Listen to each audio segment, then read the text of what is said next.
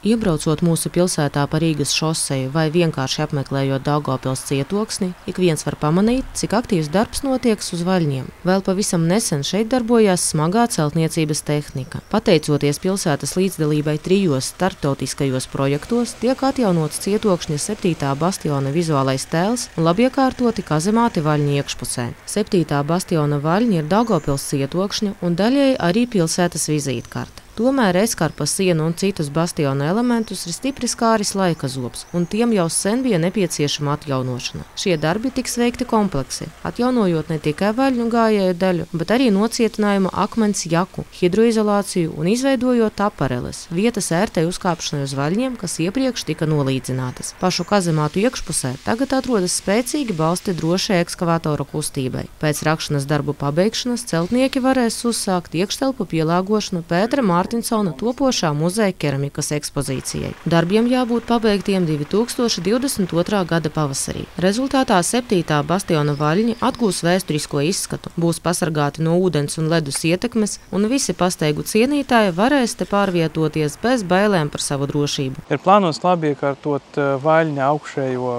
daļu, eh, tāpat restaurēt eh, granīta sienu, visā tajā um, posma garumā, uh, kā arī restaurēt un remontēt kazemātus. Tas ir uh, valnī iebūvētas divas iekšējas telpas, kur ir plānots izvietot Rotko mākslas centra keramikas izstādes atvērtus fondus. Turistiem un cietušu apmeklētājiem būs ērtāk staigāt pa cietušanu valni, jo, nu, diemžēl, tas iepriekš arī nebija, nebija iespējams, laikam, visā tā vaļņa posmā, jo tādas bedrītes, tranšēs izraktas iepriekšējos gados, bet šīs vaļņa posmas būs labi iekārtots, izlīdzināts un tā kā pielāgots rekreācijas funkcijām. Pašreiz notiekošie atjaunošanas darbi ir pirmais solis pretī daudzu pilsētas un pašvaldības aktīvistu lielajam sapnim sakārtot vaļņa virsmu visā cietokšņa perimetrā. Tikmēr blakus cietoksnim sparīgi virzās uz priekšu vienu kilometru garās Dambja promenādes izveide. Visticamāk, darbus pabeigs šī gada rudenī, lai gan jau tagad šeit var redzēt vairākus gandrīz pabeigtus fragmentus. Vienlaikus ar gājēju un velosipēdistu zonu veido laukuma piestātni, kur nākotnē būs iespējams pulcēties pasākuma laikā un uzstādīs skaista Daugavpils cietokšņa maketu. Sižetu sagatavoja Daugavpils pašvaldības sabiedrisko attiecību un mārketinga nodeļa.